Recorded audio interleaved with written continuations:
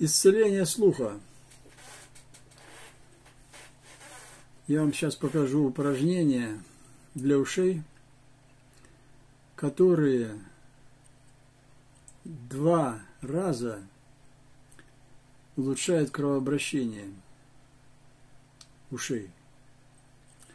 Во-первых, я пою на вдохе и на выдохе, причем через нос.